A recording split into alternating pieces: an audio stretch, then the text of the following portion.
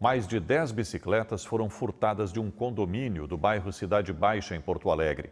Esta é a segunda vez que os assaltantes levam pertences da garagem do local.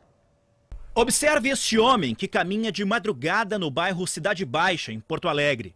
Ele passa pelo portão aberto, dá uma espiada e decide entrar. Quando deixa o prédio, está pedalando. Uma hora depois, a mesma coisa. Outro que entra a pé e sai sobre duas rodas. O crime se repete pelo menos seis vezes, tudo na mesma noite. As invasões começaram aqui, às duas horas da manhã. Essa dupla conseguiu burlar o sistema de tag eletrônica, que dá acesso ao condomínio.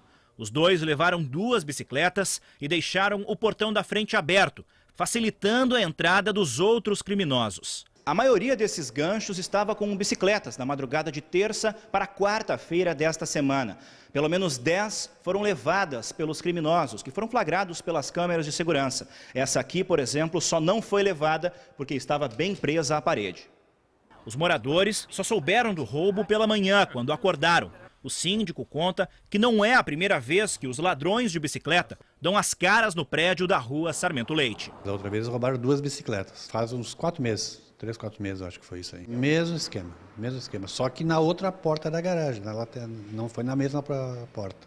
Neste ano, o nono batalhão da Brigada, que cuida da região central da capital, já atendeu 17 ocorrências de furto depois de arrombamento a residências na Cidade Baixa.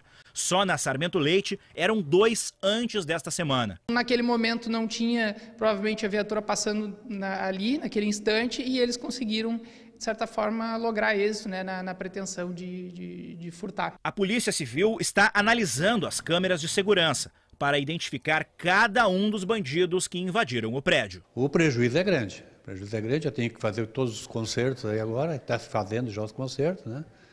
E, e o prejuízo das bicicletas também. O pessoal está tá, tá bem traumatizado.